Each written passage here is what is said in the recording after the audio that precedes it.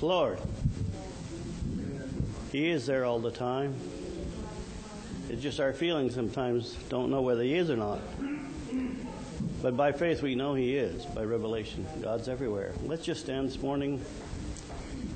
Let's remember Brother John Crothers' other requests here this morning as we would look to the Lord. Brother Craig, I spoke with uh, Sister Nicole this week, and she'd like prayer. Sister Sister Nicole. Nicole, yes. And also, uh, a coworker of ours has uh, contacted us, his wife's been uh, diagnosed with Lou Gehrig's disease, Okay, and he'd asked for prayer, so. As well. Brenda. okay. All right, let's all bow our heads then. Yes. Oh, yes, yes, I, it's, all right. So let, there's a lot of requests and a lot of things that need to be looked on at this time. And we have that privilege of prayer that we can go before the Lord and we can ask that He move on behalf of these things that we've been asking, that been brought up before the Lord this morning. Heavenly Father, as we come before Thee, we thank You, Lord, that we can come, Lord, through the blood of Jesus Christ. And I know, Father, that You've seen, Lord, these requests even before they were made here this morning. But Lord, you wanted to, us, Lord, to say from the lips of our mouths, Lord, to Thee. And Lord, we ask at this time, Lord, that you would meet these needs, Lord, this time. There may be others, Lord, that has, Lord, maybe unspoken requests, whether it be here or by the way of the internet. There's no distance with Thee, Lord. We are ever so thankful, Lord. Now, as we come to this service, Lord, I pray that you be in every part of it. We ask it all in that precious name of the Lord Jesus Christ, I pray. Amen and amen. You can be seated this morning and have Brother Paul come lead us in song service.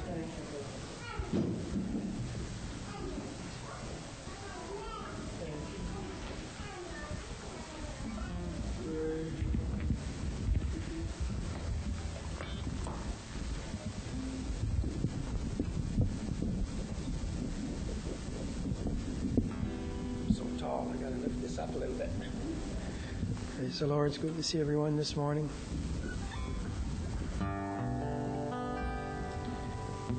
Mercy my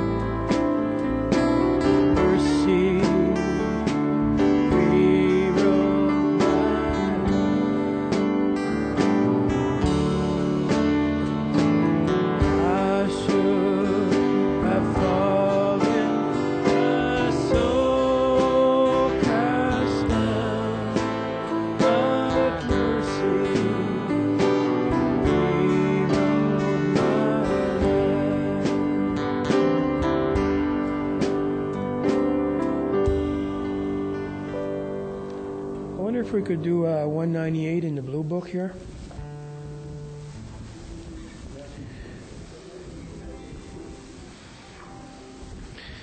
And you can all sing along.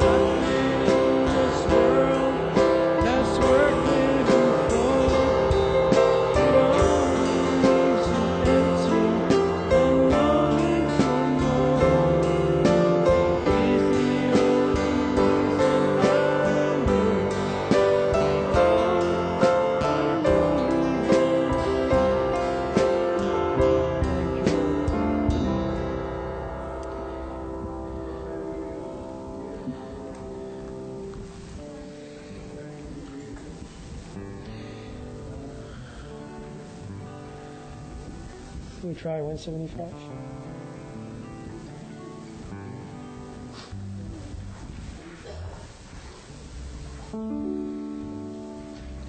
Well, I'm happy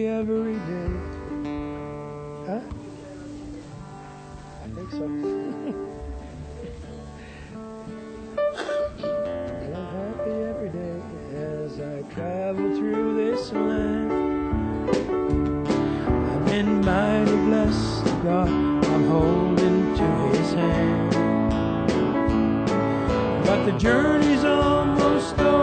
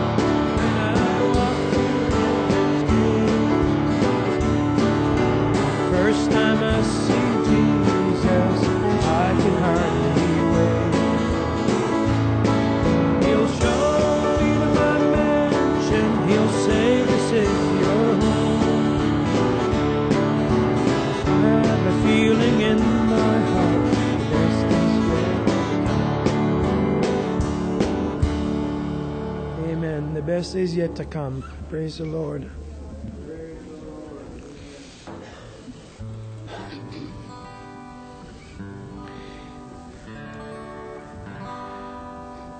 There's another wave of glory on the way. Let's get our house in order for today. It's 182.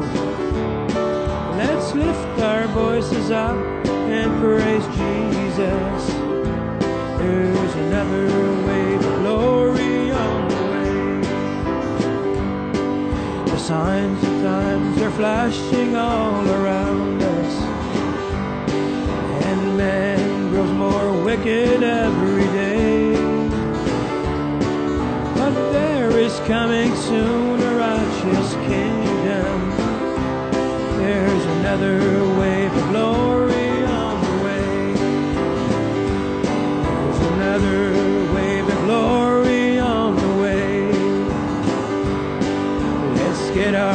house in order for the day.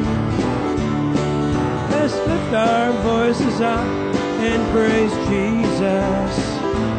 There's another way of glory on the way. The world has closed her eyes and now are sleeping to the prophecies unfolding every day. know what you and I know. There's another way, the glory on the way. There's another way, the glory on the way. Let's get our house in order for today. Let's lift our voices up and praise Jesus. There's another way. Signs of times are flashing all around us. And man grows more wicked every day. But there is coming soon a righteous kingdom. There's another wave of glory on the way. There's another wave get our house in order for today.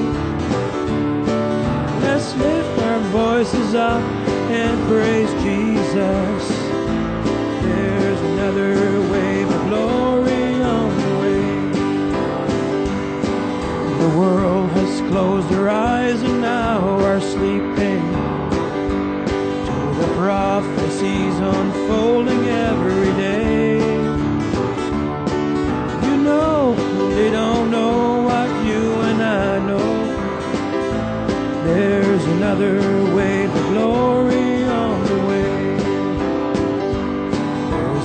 another wave of glory on the way. Let's get our house in order for the day. Let's lift our voices up and praise Jesus. There's another wave of glory on the way. Thank you, Lord. Thank you, Lord. Thank you, Father. Thank you, Lord. Does anybody have a number on their hearts this morning? 155? And there was somebody else? Okay. Okay. We'll try 155 and then we'll try that one. In the red book?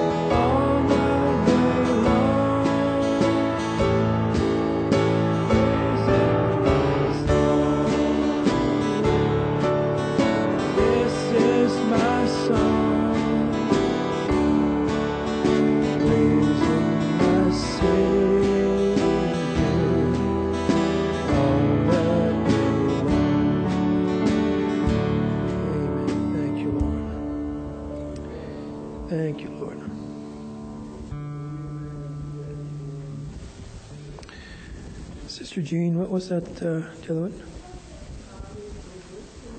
Goddess. Chana, do you know? I, know? I can't think of it either. Do you want to sing it, Gene?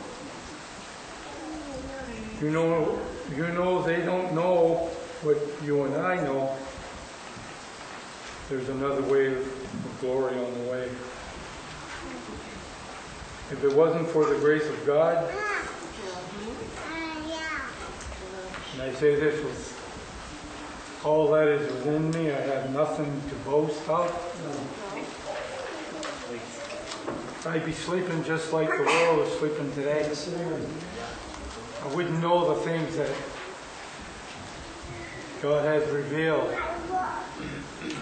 if it wasn't because of His goodness and His mercy and His love. And I am so thankful this morning. My wife and I were talking this week, and we were talking about where would we be today if it wasn't for the grace of God. And I look back on my life, I don't remember one time anybody, anybody ever spoke to me concerning the Bible, concerning the Word of God. And I know that I was heading down a road that I didn't know that it would lead to the second death. When I was young, I was enjoying what the world had to offer. I was really happy in the things that I was partaking of because there was no, there was nothing convicting me of, of sin. And I stand this morning and I am so thankful for the Spirit of the living God that reached down, drew me by His Spirit, Yes, touched my heart, changed my life, all because of that precious blood of Jesus Christ. The one who died for me and the one who died for all, for every one of us. And if we could just be thankful in our hearts I know we all go through trials and tests, and there's times we don't understand why we have to go through them. And we try to understand them, but we can't understand what God allows in our hearts and lives. We just got to be thankful that God knows what is best for us, and He will take us through. And I believe that the best is yet to come. Yes, amen. Thank you. thank you. I'm so thankful too, Gary. I, uh, I often think I wasn't looking for him, but he came looking for me. And uh, I didn't know what was going on, but he came looking for me, and he never let go. And uh, I'm thankful. I wonder if you could sing. Do you know that song, John? He came looking for me. Would you play that, please?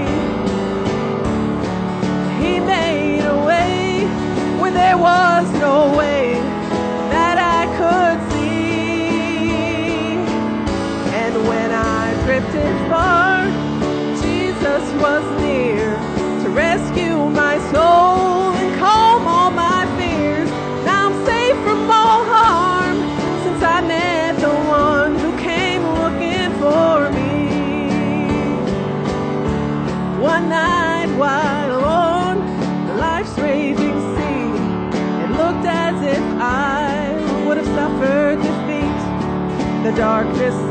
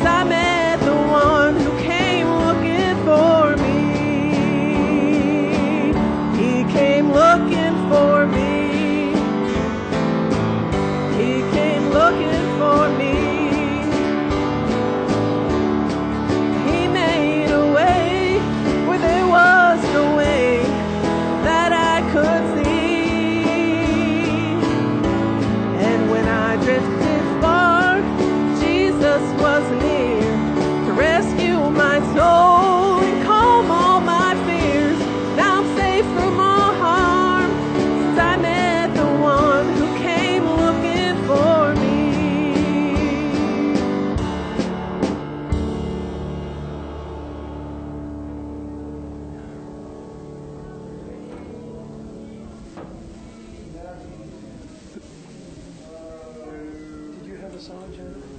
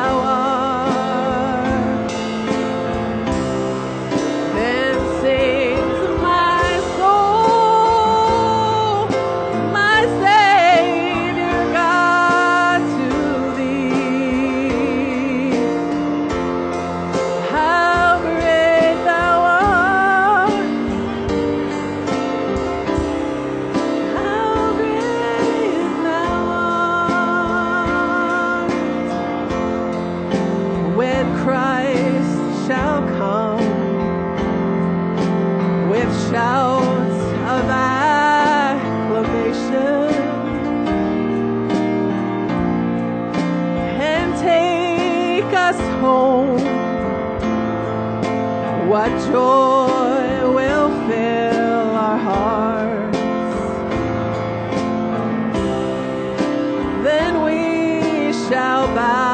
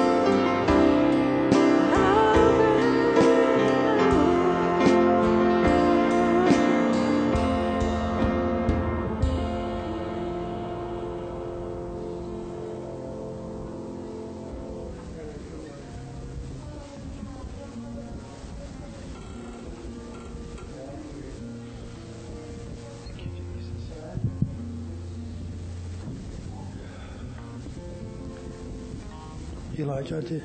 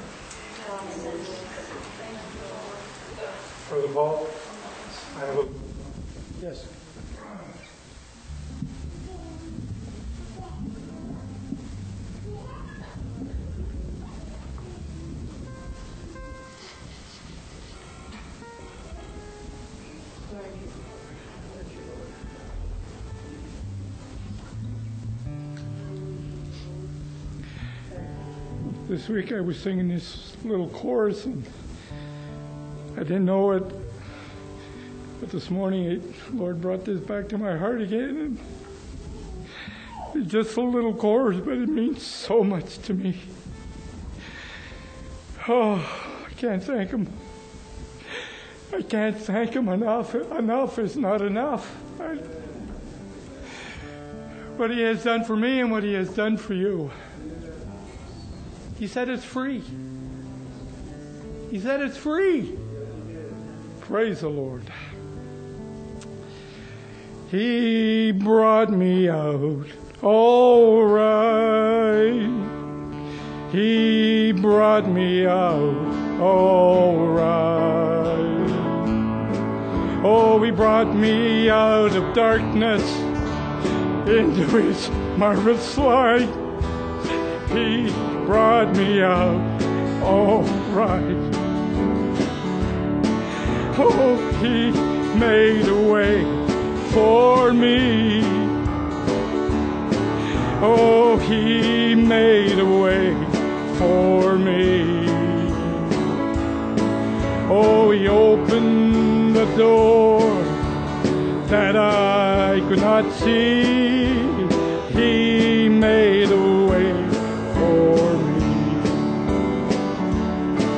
Oh, he brought me out all right. Oh, he brought me out all right. Oh, he brought me out of darkness into his marvelous light. He brought me out all right. Oh, he made a way for me. Oh, he made a way for me. Oh, he opened up the door that I could not see. He made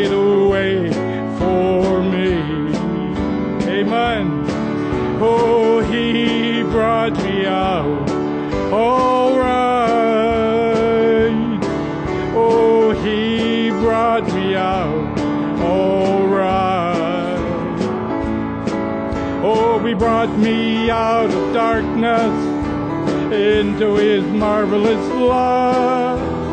He brought me out. All right. Oh,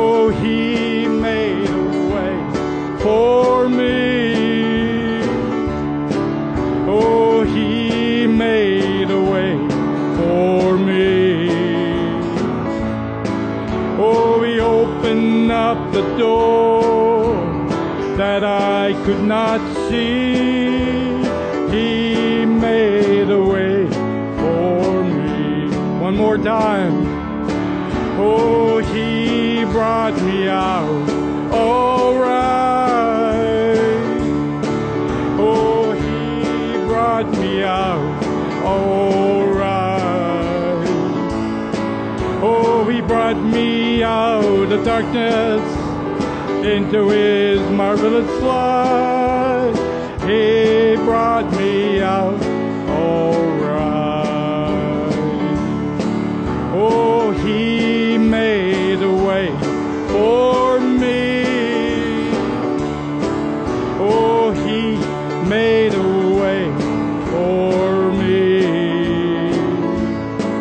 Oh, he opened up the door not see.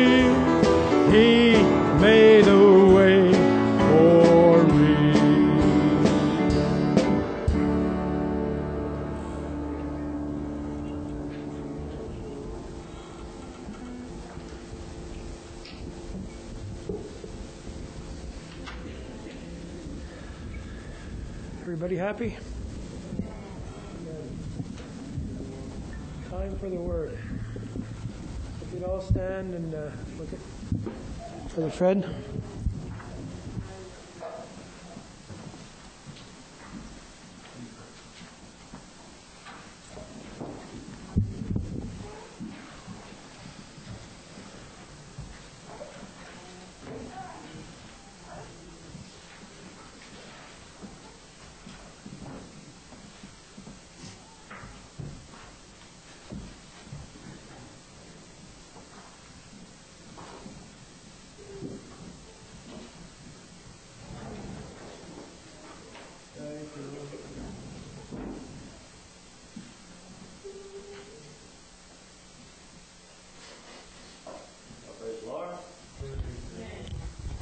Happy?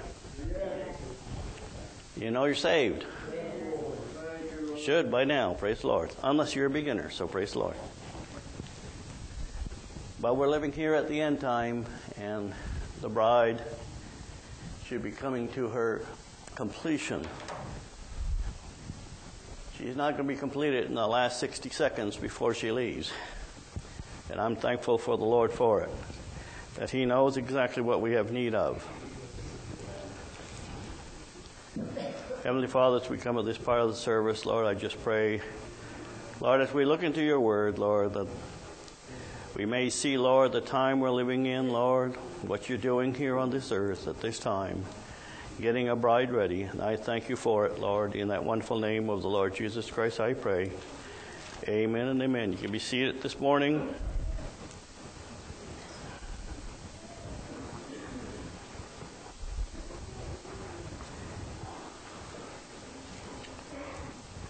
I was give it the title of a message this morning, was what the Lord told Peter feed my sheep. And we're going to look at that this morning. If you're got your Bible, let's turn to John chapter 21.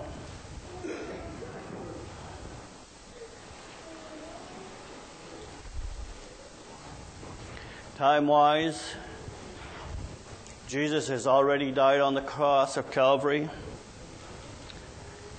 He made himself known to his disciples, but then we find here, before he does, Peter, after God has used him to speak a revelation. When Jesus asked one day, Who do you think that I am? And he says, You're the Christ, the Son of the living God. Did Peter have the Holy Ghost then? No, but the Holy Ghost can give a word, even though to someone that is not born again yet, because Peter was not born again when Jesus spoke those words. And it shouldn't be strange to us because how did God speak to the prophets of old? They weren't born again. But yet God can speak, yes, to a person, but He can also speak to His child, and much more to you and I that are born again, that have the Spirit of God in this hour. And so Peter, after the Lord was had died and rose, he got discouraged. And he's the chief apostle that God's going to use. He got to the point. Now, he's seen all the miracles Jesus did, he's heard all the wonderful words Jesus spoke. But in verse 3, Simon Peter said to them, I go fishing. Sometimes you can get to that point where you might want to go fishing. Why? Because the pressures or the circumstances that's on life. And it wasn't only affecting Peter, because the other says, Well, we're going too. We're going to go fishing. First of all, Peter didn't have the Holy Spirit even at that point in time. Because Jesus didn't have risen for the last time to go on up. As we pick it up in verse 15 of chapter 21, so when they had dined, Jesus said unto Simon Peter, Simon, son of Jonah, lovest thou me more than these? And he says unto him, Yea, Lord, thou knowest I love thee. Now, Peter was looking from a love from the human standpoint. He loved Jesus because of all the wonderful things he's done. He heard some wonderful things, but he's loving the Lord. But the Lord's trying to tell him something because we're going to see on three occasions that Jesus is going to ask him, Do you love me? But in the past, he had heard some things, and we'll get to that to just to show how the Lord is really moving and dealing with a ministry, whether it is in that age or in our time as a, as a type, if you want to. He says, Yea, Lord, I know, thou knowest I love thee. And so he didn't question, Well, how do you love me, Peter? He directs to what the thought that Jesus wanted to relate to him. Feed my lambs. What are lambs? Actually, we'll read the next, the next three and then we'll get into it. And he said unto him again the second time, Simon, son of Jonah, lovest thou me? And he said unto him, Yea, Lord, thou knowest I love thee. And he said unto him, Now not feed my lamb, feed my sheep. So why is he saying one in one account, feed the lambs and feed the sheep? The reason is that one day, when the grace age would start, there are lambs that are beginners. So the gospel needs to be preached to them. But the whole point of the ministry is not to just to feed baby food to lambs, but to feed his sheep. Now Jesus is saying, Peter, feed my sheep. And you can, if you be in Peter's shoes, what's he talking about really? And when he asked him, says, Do you love me? Because Jesus was trying to prompt something in Peter. How do you really love me? Or do you know what I've told you in the past? How to love me? In the past, he told them, If you love me, keep my words and keep my sayings. Then we go on to verse 17 now. And he said to him the third time, Simon, son of Jonah, lovest thou me? Now Peter was getting a bit annoyed because he wasn't catching it. And Peter was grieved and caused because he had said unto him the third time, Lovest thou me? I mean, here's Peter. If Peter could have uh, expressed some of his thoughts that's not expressed here, well, you know the thoughts of men, don't you know? he could have probably said something like that, but Peter was wise enough not to say that. He said to him the third time, Lovest thou me? And he said unto him, Lord, thou knowest all things. Well, you know all things, Lord. Why are you asking me these questions? Because he wanted to drive home how we are to love the Lord. It's not like loving one another in a sense. When we say we love one another, is that the love that's in the world that, oh, we love one another because you're wonderful? That's carnal, natural love. Every human vessel has it if they want to display it or to cultivate that kind of a love. But the love of God is not cultivate, is not into the world, only to those that are born again.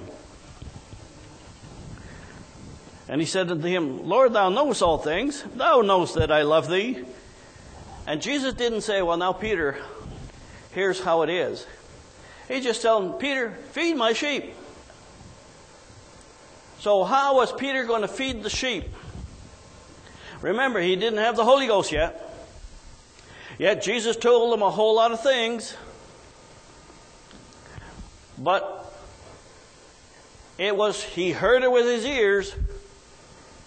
But from what he heard in chapter 14, 15, and 16, when it came to just before Jesus approached him that way, Peter says, I'm going fishing. There was a disconnect somewheres. The disconnect because Peter, yes, he heard those words. They were needed to be to hear those words. When Peter and the twelve apostles were hearing the words of Jesus, it was like being under tutorship in their day.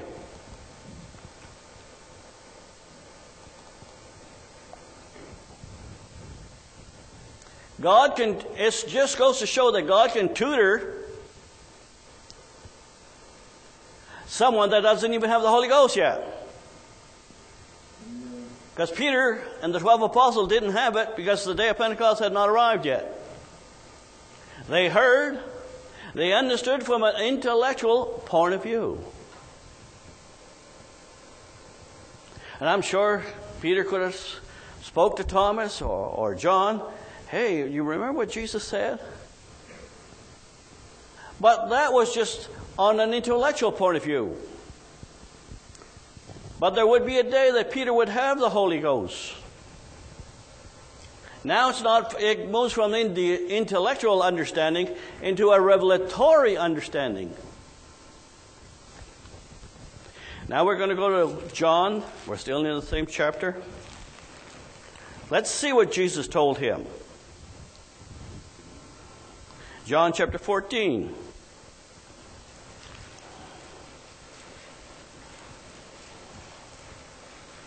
Starting at verse 15.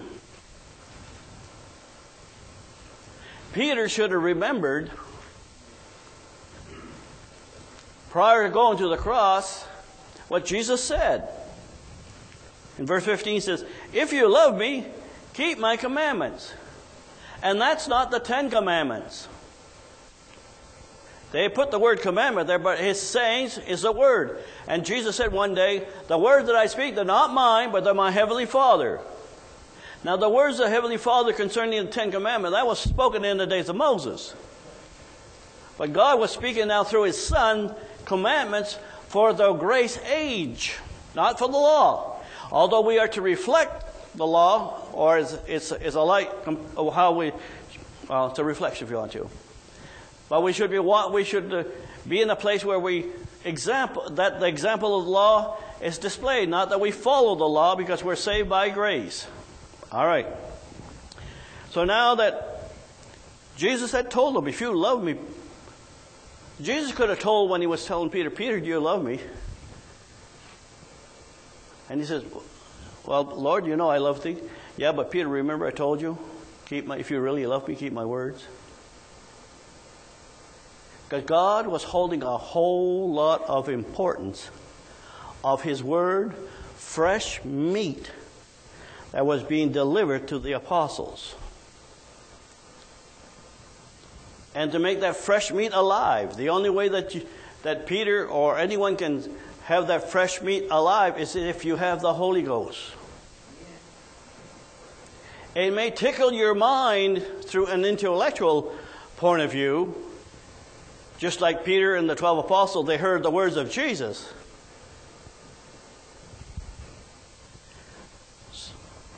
It's about time that we understand what's taking place because there's been different moves of God. Since God restored from Martin Luther, Wesley, the different men that God has used, even in, in, the, uh, in the beginning of the 20th century, and even up to Brother Branham and to Brother Jackson, an apostle that was on the scene. It all plays out in every move. There's some that hear it from an intellectual point of view, and some hear it from a Holy Ghost point of view. Now, when Peter heard some of those things, or the things that Jesus, when he preached to the, the crowd, that when he fed the 5,000, and the different places he went to, there was not just 12 people listening to Jesus. They heard some things. But how many went in the upper room? Are drawn to the upper room? All right. So then in verse 16, he says, I will pray the Father, and he shall send you another comforter, that he may abide with you forever. Now, there's something we could bring in at the same time concerning the Godhead. Jesus lives in me. That's when he's not what he said here. He said, I'm going to send you the Comforter. You're born but one time, and that's by your Heavenly Father, and the same Heavenly Father as Jesus is born with. But Christ dwells in me. And sometimes it's presented as if Christ is everywhere and has been placed in you. That's an erroneous interpretation. Christ dwells in you by revelation. I'm going to use a natural example this morning. We've all seen families, and a man has a son. And then as he's going about doing some work and so forth, and some people observing him that knows him, well, you're like your father. But he's not your father. But he has the same attributes and traits in him. But that don't make him the, the father, and the father doesn't make the father the son. How many sees the difference? Because the Satan would like to twist little things a little bit. The thing that Jesus actually lives in you. He lives in you by revelation of the characteristic that the Holy Ghost that He's given to you lives in you. You don't have two fathers. You're not born by Jesus, and you're not born or born by the Spirit of God. You're, we have one Spirit. All right. So he says, otherwise, he should have said here, and I pray the Father, and I will come to you, and I will be li- I'll live in you. Now, to begin with, to drive that point home, if Jesus can live in everyone, as sometimes it's portrayed as he's in me, as if it's, he's part of him left from glory and is in you. And they use the phrase, uh, the phrase very common, and they, the, here's how they present it across. Well, uh, Jesus said, I and the Father are one. Yes, but how do you see that oneness? Because the same verse in the same spot, it says, Father, make them one like we are one. Are you into everybody also? It's time to wake up. But the characteristic that's in you, if the Spirit of Christ is in you, which is the, the, the characteristic of God, it's also in everyone in that manner. It's of the same purpose. But there's only one Father. There's only one that sees everything and everywhere. And, sometimes from old teachings of the past prior to Brother Branham or even the days of Brother Branham, when you say that Jesus doesn't hear everything, they get defensive. Oh, yeah. Even in this message, they'll argue with you. If Jesus can hear everything, I and my Father are one, and make them one like we are one, can you hear everything? Now, not everybody has probably has access to TV and things like that. But there's an old space show that's on there. They call it the Borg. They're simulated. Everybody reads everybody's thoughts. The bride is not the Borg. And if you don't understand what that means, it means everybody don't hear everybody's thoughts. Only one that does that. And he knows the secrets of the heart, even Satan can't know. It says only God sees the heart. I think it's in 2 Corinthians chapter 6 verse 8, somewhere in that vicinity. He only, when it says only, that excludes Jesus and everybody, angels, anything. Only God sees the thought. Aren't you glad that He's the only one that sees it? Praise the Lord. I didn't get too far yet. Okay. All right, so I'll pray the Father that He shall send you, give you another comforter, that He may abide with you forever. Even the Spirit of truth, whom the world cannot receive. Why can't the world receive that Spirit of truth? Because the seed line's not there. God knows who will receive the Holy Ghost, and He doesn't give them the Holy Ghost. Well, I hope it works out for, the, for these ones. There's not one that's going to be lost. God don't make a mistake. Yet, while that is taking place, Satan like to have those crowd around to hear the same thing, and it's, oh, everybody's, we all have it. Time's going to prove whether you do or not. All right. The world cannot receive because it sees him not. How do they, how come they can't see the Spirit of God? He's invisible.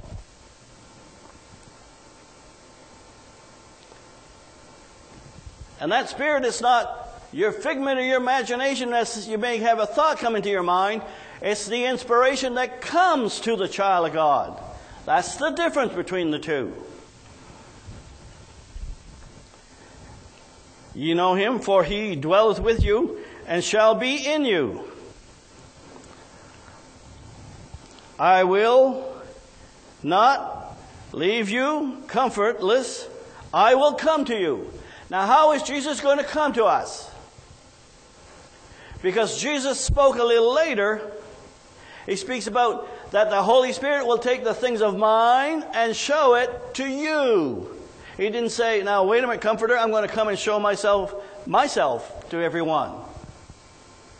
So this idea looking at Christ living in you as being the Holy Ghost itself, yes, it's an identification characteristics of your Heavenly Father, but you are born of the Spirit of God but one time. We all have to say, we have it by measure. All right, let's go on to a little further now. We're going to go to, to John chapter 14, verse 23.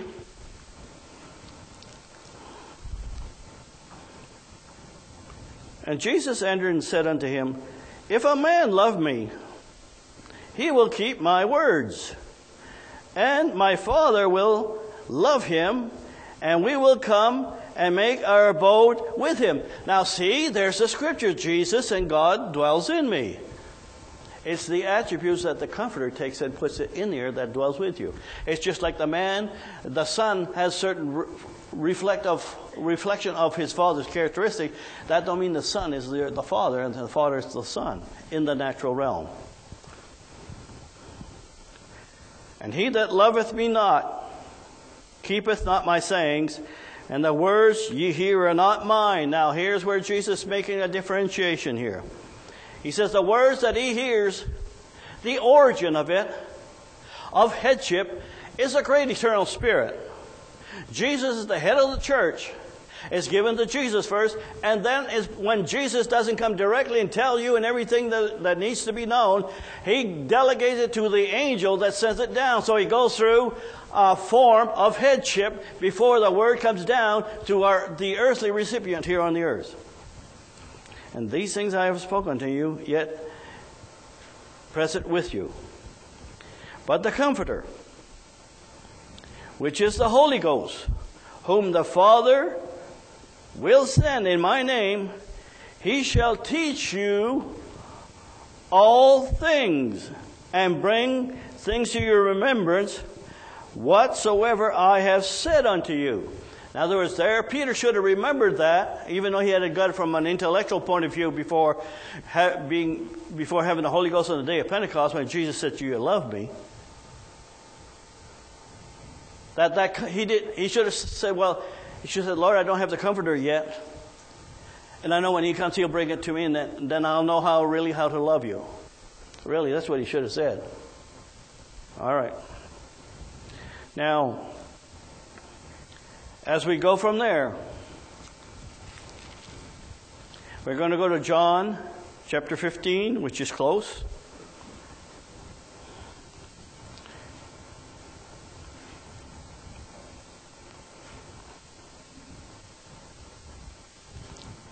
And in John chapter 15, starting at the 20th verse. Well, I'll read the verse 26 first. But when the Comforter is come, whom I will send to you from the Father. He didn't say, I'm coming to you. Now that's the actual part of the Spirit that is sent to you and I, is that Comforter, which is the Holy Ghost, the, the Spirit that you and I are born with. Even the Spirit of truth, which proceedeth from the Father, he shall testify of me. Now, if we go back up to verse 20, he says, Remember the words I said unto you, the servant is not greater than his Lord. And if they have persec- persecuted me, they will also persecute you. And that goes for every move of God. Not just in the days of the apostles, even in 2017. Who hates you? The world, the sinner off the street? The, the, the, denominational church, they don't even know we exist. But it's those of your ranks. And if they have kept my sayings, they will keep your sayings also. Because if the word that comes from the Father that gives it to Jesus, that sends it to an angel, and gives it to a servant to speak, then that's just as much as God's word as if God would have spoken right out of the air directly. It's the same word. All right. But all these things will they do unto you for my name's sake, because they know not him that sent me. The reason they don't recognize the present day word, because they don't know him that sent you. Sent him. Sent me, sorry. If I had not come and spoken unto them, and boy, this drives the movement in this hour while. If I had not come and spoken to them, they had not had sin, but now they have no cloak for their sin. The word that comes on ground, fresh meat. When God brings fresh meat on ground, and people reject it, discount it, but say something else, or it's, or it's false, or whatever, whatever it is, as they're refusing it, then they have no cloak to hide themselves behind because now truth is on, on the scene.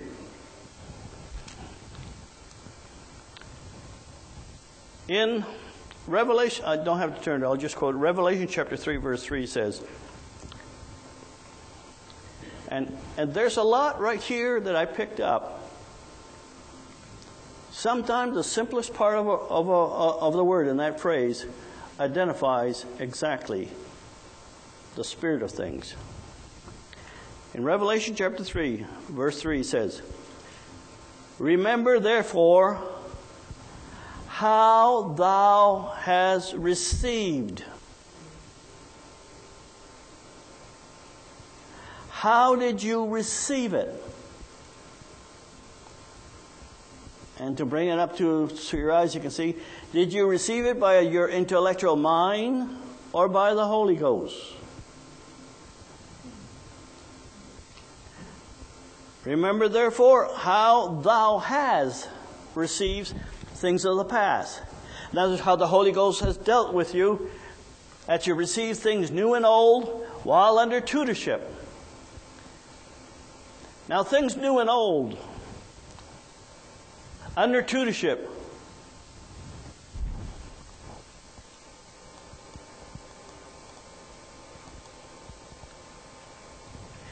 Can someone under tutor receive things new and old? He sure can, but he's not the originator of it. There's headship involved. The Father gives it to Jesus. Jesus sends it down to a servant on the earth to speak it. Not to the five, but to whom he will have leadership with. When the early church started, it was Peter, the head, that God was going to use as the main spokesman. But then when the Jews rejected as a whole, and the Lord now got Paul to go to the Gentile, Paul was the headship. There was other apostles. But there's one headship. Because if there's two or three that are all on the same level, everybody's in the headship, you're going to have confusion. Because God knows the one that He can trust to bring His word, what it actually means, and what it is for, and the hour that it's for. But oh, the fivefold ministry today. They're the headship of Jesus. Yes, it is expressed in it, but there will be a main voice. If you heard that apostle right, when he comes on ground, he's going to scream loud enough, forceful enough, not speak like a mouse, and it'll cause those that have an intellectual revelation to reject it, and those that have the Holy Ghost will start seeing it. Now, not everybody sees all at the same time. Oh no. Because some may only hear it later, or depending what frame of mind you're into a certain service, then somewhere God will bring it forth. Now, the fresh meat, that carcass that we see in Matthew chapter 20, 24. It's not the apostle that gets the, the carcass or the fivefold ministry that takes the carcass to bring it for fresh meat on the earth. It is God Himself that takes that meat and He brings it. And fresh meat is not meat of old that's in the refrigerator, it's still meat, right? Like I mentioned before, I had been to a grocery store. And sometimes you can be deceived by what's fresh meat. Because the butcher can take some old meat, he'll dab it into blood, and on the, on the surface it looks like fresh meat. It has a look like fresh meat. So the thing that's been revealed 10, 15, 20, 40 years ago is meat, but not fresh meat. I'm here to tell you this morning that is not your fresh meat for this hour. That's thus says the Lord.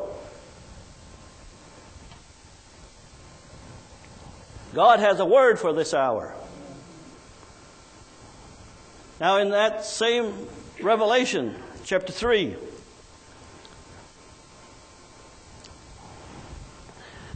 how hast thou received and heard? How, and this, although it is in that church age, that's not the Laodicean church age, it applies for all the churches.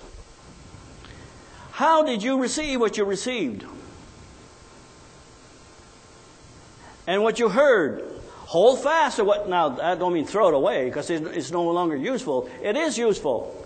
Because, like Jesus told Peter, feed my lambs. If lamb comes in, you got to feed the lambs.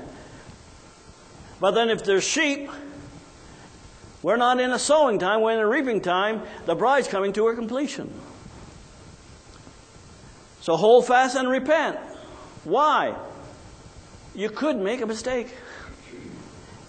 Why did he put the word repent in there?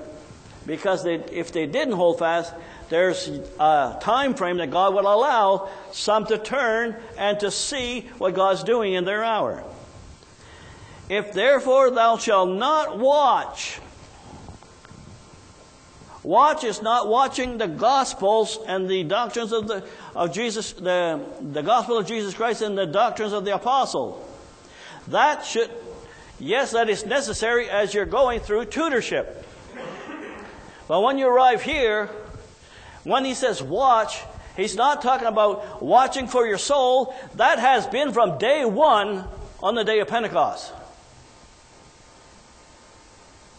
But when Jesus is speaking about watching in the book of Revelation and in, the, in Matthew and in Luke, he's talking about watching his coming.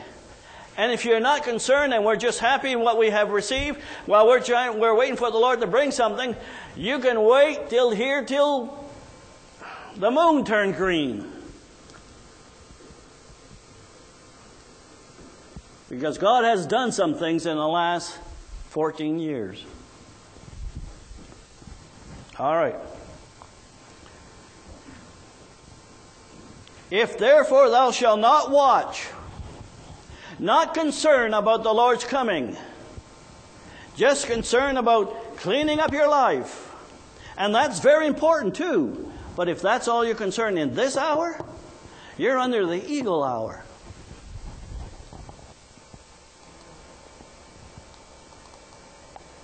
What is a watchman?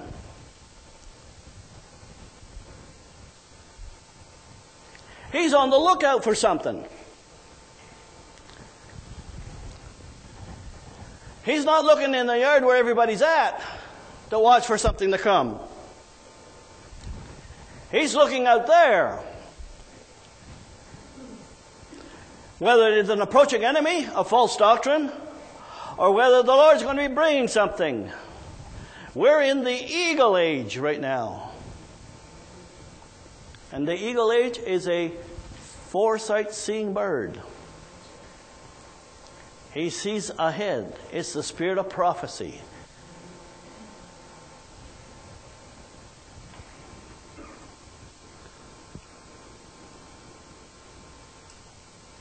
In Revelation, uh, okay, he says, If therefore thou wilt not watch, I will come unto thee as a thief, and, that, and thou shalt not know the hour. Because when, if we refuse his word, he's going to let you start to fall asleep. When you don't recognize your hour, as you start walking, the light moves away from you, and you start now to walk in darkness. Well, I don't believe in false doctrine in darkness. No, but yes, where God has brought, seems, seemingly has brought you to, walk into the light and see the light. But if you refuse to walk any further, that light moves on and you're just staying there waiting for something to come. And what's holding you back and not seeing what's something to come? Because you have some ideas that God doesn't want. That's straightforward as I can put it. This bride is going to be put together by the Word of God. Believing the same thing. Not a different men's having their different ideas and hoping everything is going to work out because we all work with one another. If you don't see your hour, I'm telling you right now, just like the Branham movement, what caused them to be in darkness? They believe the doctrine of Jesus Christ. They believe the doctrines of the apostles. They even, now some of them even believe the, the message of Brother Branham, of the seals and so forth. But yet, there was something in their makeup they would not want. They were receiving a revelation by intellectual point of view. Had they had the Holy Ghost, they would have seen the same thing that the apostle would have been seeing. And so, therefore, as time goes on, the Branham movement, it's sad to say, is getting darker and darker and darker. Not dark overnight, but as God's moving, as the light of God is moving away, it is getting darker. And like we said last week concerning 1 John chapter 1 verse 6 to 7. If if you walk in the light as he is in the light in the hour that you're living in, not the past, then the blood of Christ cleanses you. But if I'm not walking in the light, further light, does the blood cleanse for you? Well, I don't know. Uh, it's not applicable to the true believer. It's applicable to tares or intellectuals. That's the difference. Well, are you calling those all those wonderful people that had the wonderful message in Brother Branham Tares? Well, what do you want to call them? Bride?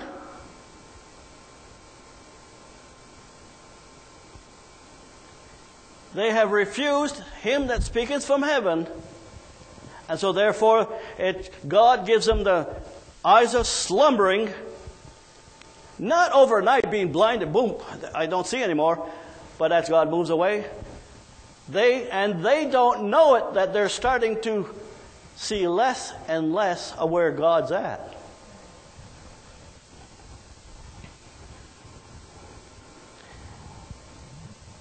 Now, brother, I've read something that Brother Jackson talked about. Not that I need to quote Brother Jackson and things like that, but I found that what he said made sense. The watchman terminology is pertaining to a revelated ministry in the end time that will clean up, finish, and bring the bride of Christ to maturity.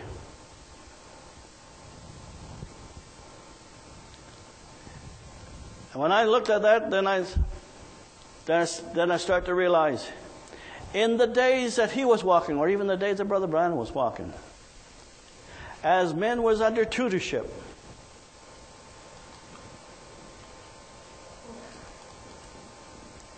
as God moves from one servant to the other, because now they are, God's going to hold them accountable. What did you hear? And how did you see it? Because in amongst that group is going to be ministers that's going to be moving forward to fill the ranks.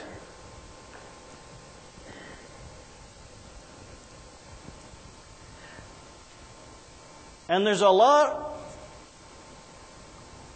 of those that are preaching wants to be watchmen but the Word of God exposes them.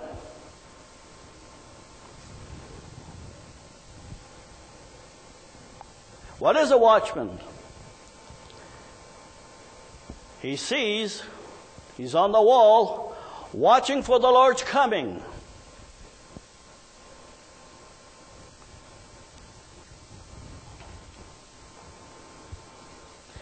So he goes on to say, Brother Joshua goes on to say, so these watchmen, they are, call, they are God called special servants. They have a vision and understanding of what the will of God is, not just of the past. They have that.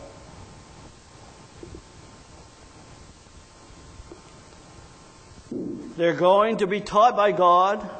They're going to know their calling. And they are all going to see their position in the body of Christ. And when it comes to unity, these things of watchmen seen together, it is time to a world event. That's why, even in 2017, yes, the watchmen are under God's trying them out. Those that are watchmen. They've been tested, been proved, or God has put them through all kinds of tests. And the would be watchmen are not going to cut it because they're just going to stay to the point they're at and they can't see no further. Not that they have to. Now, sometimes they, you fall on that, the one in Matthew chapter 13, 52. And every scribe will bring things out of his treasure, new and old. Not every scribe is going to be hitting heaven and God giving them a personal revelation for the bride. Just as when you're under tutorship, you receive things new and old, it was under headship. So will the watchman be under a headship. And the headship, headship of the one that's on the earth is Jesus, is the head of it.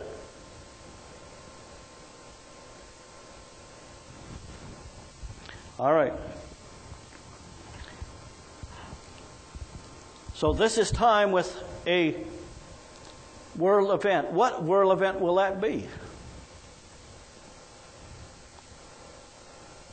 When Zion is restored.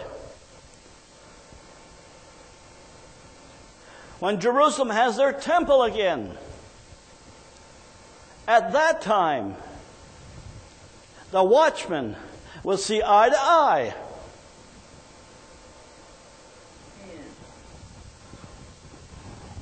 And I can hear those listening on the internet. Oh, you're trying to make something of yourself. You're trying to be that one. I can only say what God gives me. I'm not responsible for others. Yes, I feel a, a burden to warn the movement. You're starting to fall asleep.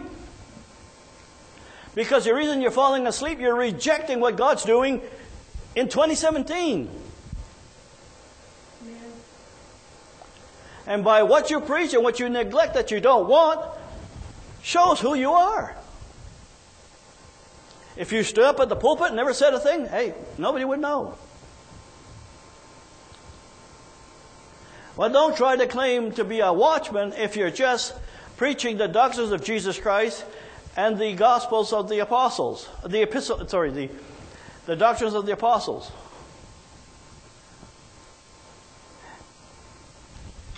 Well, you're wrong. The fivefold ministry in this hour will have, yes, a concern for the attributes of Jesus Christ, which is the inner man.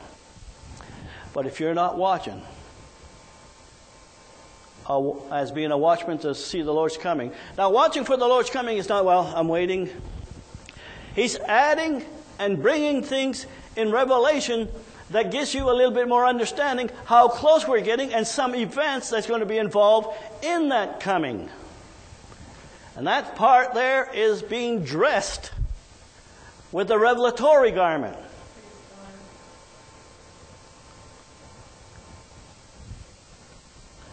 Well, praise the Lord.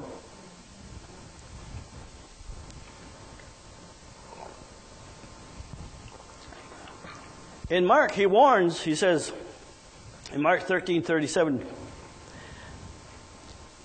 and what I say unto you all, watch. Now, he even told them in their day to watch, but they knew the time and the season was, wasn't there, but they still were to watch, and God would drop in a few little things like he did to the Apostle Paul. They were concerned one day about the rapture. And so Paul spoke in 1 Thessalonians chapter 4, verse 15, the Lord shall descend from heaven with a shout. That came way back from the Apostle Paul back then. That was fresh meat when he was brought on ground. But they didn't understand the whole scope of it. Because they didn't know how the shout was going to come and the voice of the archangel. It was just open that, that existed. But we are the generation that's, that's heard that already. We haven't heard the voice of the archangel yet. But that shout is still going on. And sometimes when you look over the land, it seems like, well, I think we got pretty near the, the shout. We're just now waiting for the miracle war, the temple, and, and the Ezekiel war, and, and then the opening of the seventh seal. There's more to it that God has brought on ground you're starting to fall asleep. He goes on to say in Matthew chapter 13, 37, And what I say unto you all, watch. Watch ye and pray, lest you enter into temptation. What is the temptation? Oh, I want to go to a dance hall. Oh, maybe if I start drinking some beer, not in excess, that might be okay. That's not the temptation. The temptation is what, look what happened to the uh, church age where the woman that had got them to fall asleep, the temptation was to organize, to stop in your tracks, to not see anymore. That darkness overcomes them. So watch that darkness ought not overcome you, is what it is. Lest you pray, lest you enter into temptation.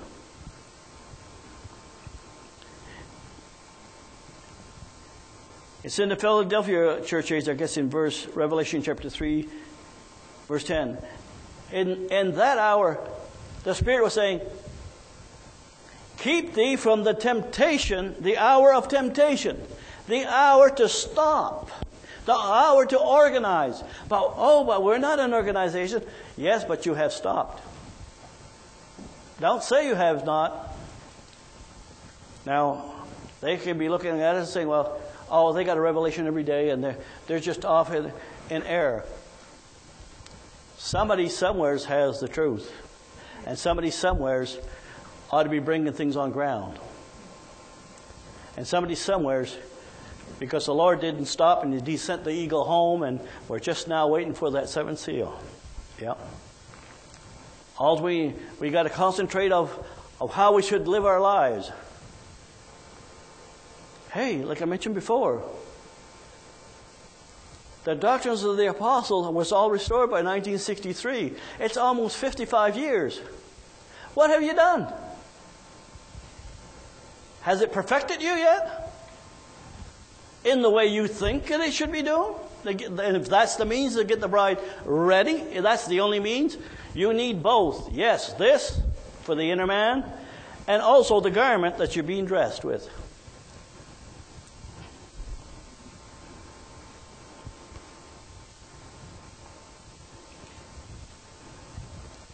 There's many in this movement.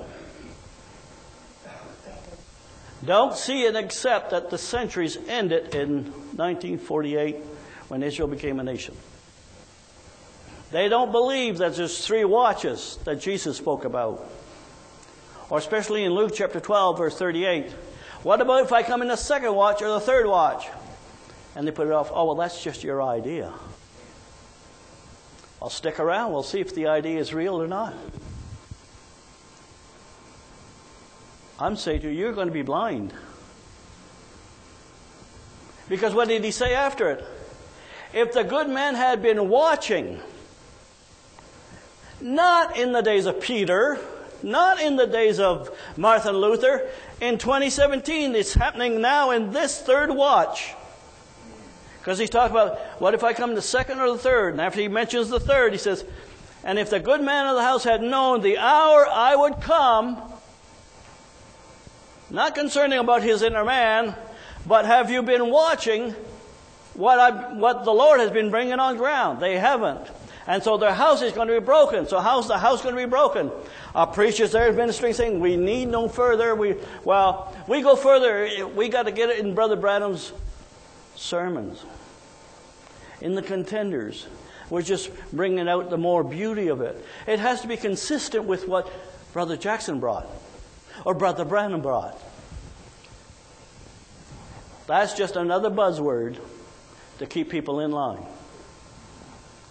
Brother Jackson brought things that Brother Branham never touched. And you won't find that it's in line with it. Sometimes God opens some things, it's in that certain area. You can't follow the thread. It does, yes, make the whole picture complete. The miracle war. Brother Branham never touched such a thing. Is it consistent? Yes, it is. But if we're looking at being consistent, well, here he says something here, and then, and then we can draw from there, and that, that, that's consistent. You're being blinded. You're not trusting the Holy Ghost, you're trusting your intelligence. Well, speaking pretty sharp this morning. That's because I got a toothache. I got to get a wisdom teeth pulled out there tomorrow. See, I'll lose all my wisdom tomorrow. Now, praise the Lord.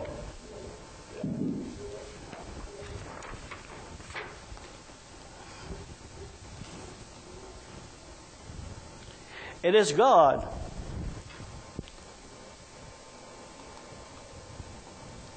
that is feeding the meat. Because it comes from the Spirit of God.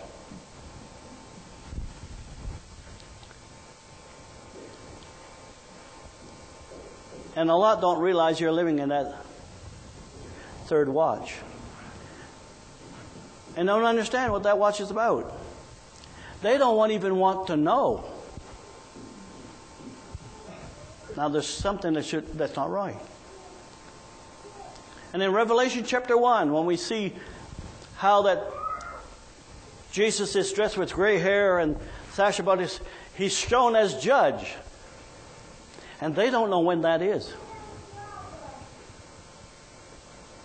That might be after the rapture. I think they may think. You think? Uh, uh, they said, "Well, all's going to happen up there." I'm not saying this to get you to be mad or upset. But in 2 Thessalonians chapter 4 verse 1 it says when at his coming he's going to judge the quick and the dead. You can't put the quick in heaven. And if you don't know what it is, because you don't want to know what it is to begin with.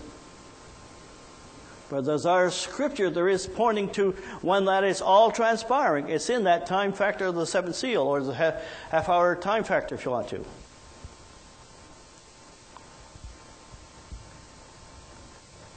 Can you imagine arriving to when the seven seals broke? Oh, we hear the voice of the archangel. Oh, the thunders are sounding. What's this about judging people here? The living ones? That's your quick. When Jesus brings that judgment seat, period of time, it's all done at the same time. He's in heaven dealing with the deceased bride saints, but that angel, on the behalf of the Lord Jesus Christ, is doing it on those that are alive at that moment of time while he's doing it in heaven. Uh, well, we don't bother with that. We don't need that. That's why your house is going to be broken. There's going to be other things God's going to reveal up that hour. And you're going to be walking in more darkness and more darkness as we arrive to the time of that seventh seal being broken. You know what it sounds like to me? They have more confidence that it was a man that brought things that they, they're depending on.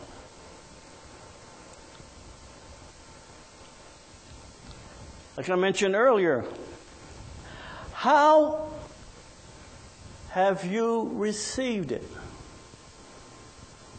Look back in the days God was teaching. Was it by the Holy Ghost or by because you saw the idea of things that was being brought on ground? Well, that's not possible. Yes, it is. Look what happened to Peter. He didn't have the Holy Ghost. While Jesus was speaking of those things concerning the Comforter, he could understand and hear what he, he heard the words that were being said, and he knew Jesus was a man of God, so he trusted in Jesus in that respect. But Jesus wanted to go further to prepare him one day that when he would have the Holy Ghost, it's not because I walk with Jesus, but because the Spirit that's in me takes the words of Jesus and makes it real. And that same Spirit of that, that comforter is here on ground even at this hour. And he's speaking things in this hour that is just as important as what he spoke when he walked here on earth. When he worked here on earth, he spoke the words for your and I salvation for the gospel. Here he's speaking in this hour to you and I get ready for a bride to leave here.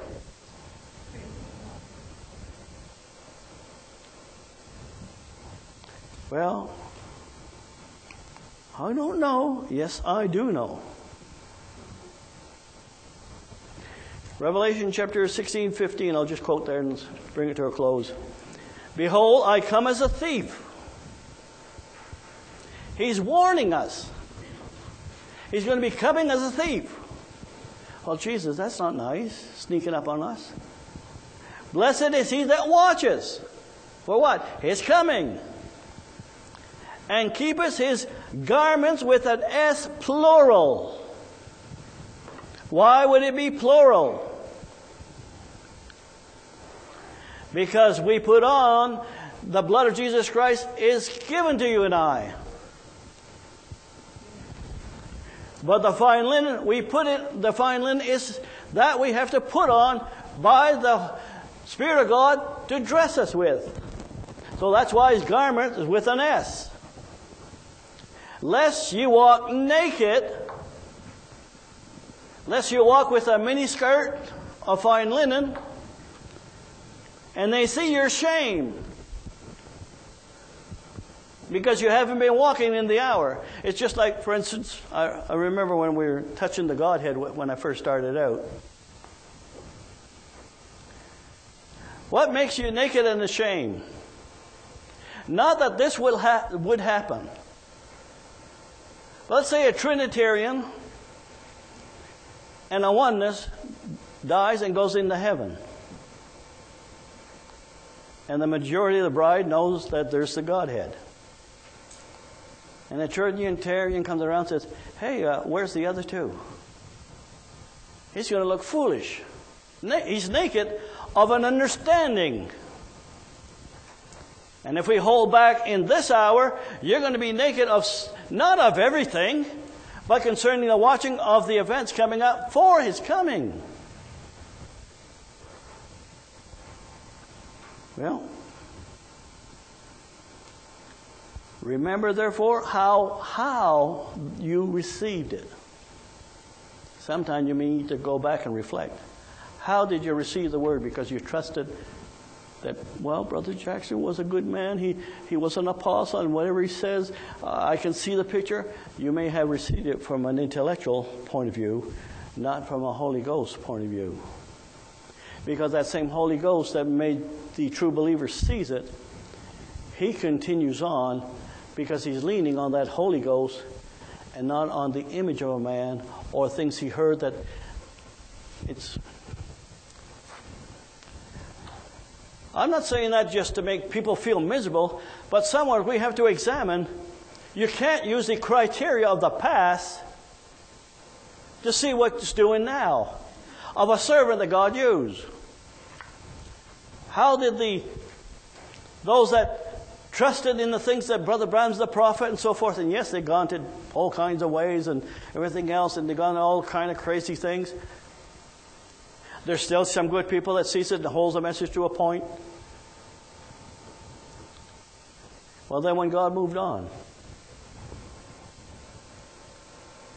they were looking more at the man because it shows to me they had an intellectual understanding of what he was saying rather than the Holy Ghost. Because had they been having the Holy Ghost to see it, they would have seen that apostle on the scene for the last, that was on ground for 40 years or so, around 40 years. You understand this morning what I'm trying to say? You can't put trust in the arms of flesh. Doesn't matter if a man's a prophet or an apostle. God allowed Brother Brown to say dual statement, didn't he? Did Brother Jackson say some things that came wrong? Now, it's very, I'm not diminishing the man. I believe he was the apostle. God used him to feed the bride. But God also allowed him to say some things too. And if you're hanging on the words just to prove your revelation, it exposes you. But that Holy Ghost, if you're trusting, and a picture's brought before you. Now, if something is brought that's erroneous, the Holy Ghost is obligated to bring things to your, to your eyes in time to see that's false and that's true. That's where the trust lies, is in the Spirit of God. Well, praise the Lord. That song that Brother sang this morning, Another Wave of Glory. The world has closed their eyes and are sleeping to the prophecy unfolding every day. It happened in the days of Brother Branham, but it can't happen in the days of Brother Jackson. Don't deceive yourself. It is also happening in this hour. Does that mean everybody's got to preach the new revelation? No, that's not the point.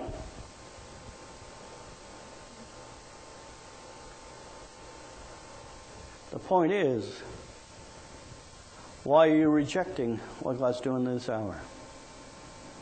Personality? Envy? Pride?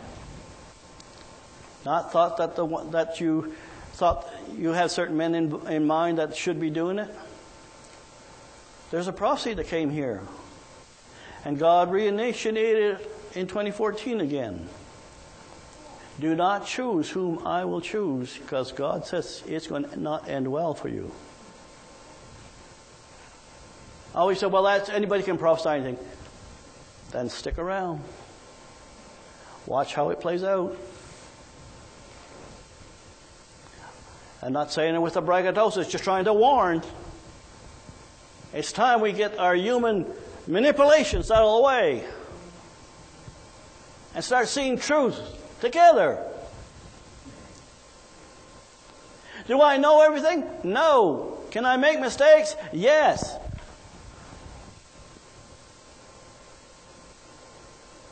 So can any servant of God. But I'm thankful that He did show us some things. And there's people seeing it. The only thing that troubles me,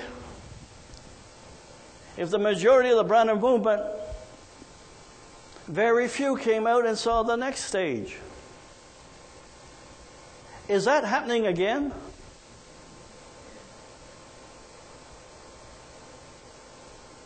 Or God's not allowing that this time? The signs that I see seems to be going in the same direction. The same thing in the days of Brother Branham. Did, all, did the denominational church come flocking in? In the days of Luther, in the days of Wesley, in the days of the different, uh, those men that, that God used to, to bring forth the gospel a little further along. God tries us all. Well, I'm still happy because I have peace inside. I know the Comforter is leading. And you can't bring things out, well, oh, tonight, oh, let's see, I've got to get something for next week. Let's, oh, this sounds exciting here. I'll, I'll go on this. You poor chicken, feeding on chicken food.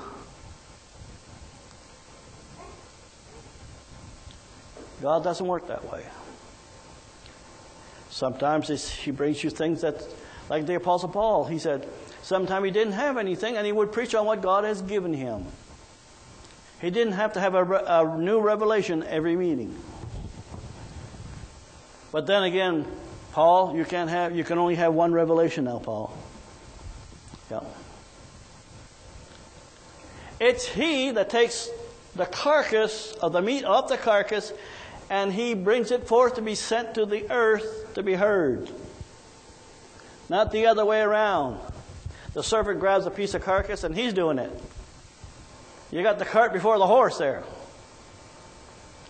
Well, uh, okay, I'm just going to be go rambling on. I realize it. I see in your face there. Yes, dinner's coming along, so praise the Lord. Let's just stand at this time. I'll... So when Jesus said, Peter, feed my sheep. Peter fed the lambs. But when we see the epistle of Peter, Peter didn't say, well, and Jesus said, and Jesus said, and Jesus said. God gave him some fresh meat too. It's what makes you alive. Is when you preach the same thing over and over and over and over again, you're no better off in a denominational church. And sometimes they change the flavor of it, so they, they bring in stories that makes you so exciting, sounds good, but it's the same thing. Nothing wrong with preaching the same thing. Please, don't get me wrong. But if you're never looking, watching for his coming, then there is something wrong. Heavenly Father, I thank you, Lord, this morning. I just pray, Lord, I just ask, Lord, that, that you give us eyes to see in this hour, Lord, the things that you are doing in this time frame. Lord, we are not neglecting anything that you have brought before in the past, Lord. We cherish those things. Now, Lord, as we would now dismiss, not dismiss, but Lord, come to this part of the service, I just thank you, Lord. In the name of the Lord Jesus Christ, I pray. Amen. Have musicians to come in case someone would still have a need.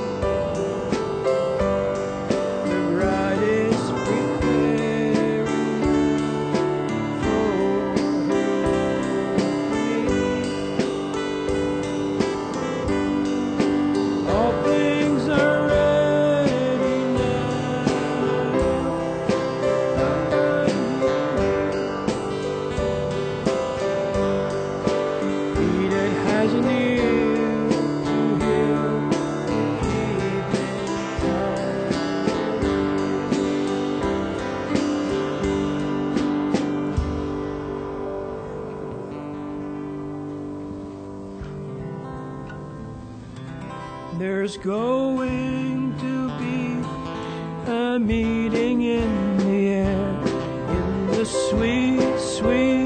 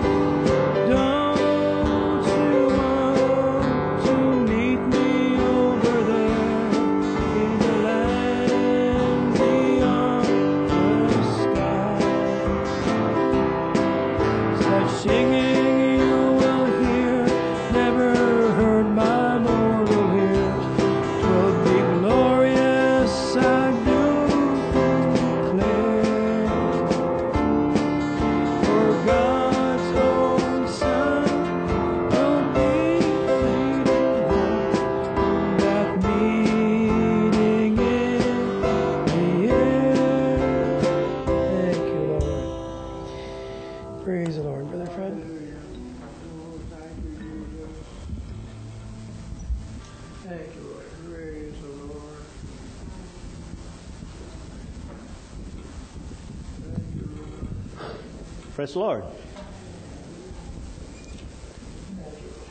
You look content. Praise the Lord. Love casteth out all fear. The love and the revelation of His Word casts out any doubt on what God does for you. That's where it's done. Praise the Lord. Let's just stand at this time.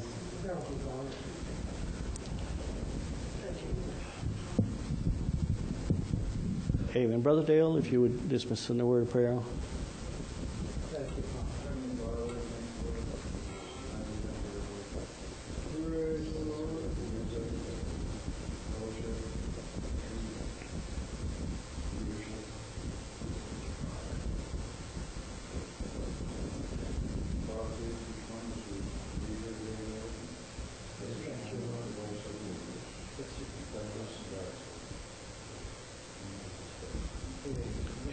Lord bless each one.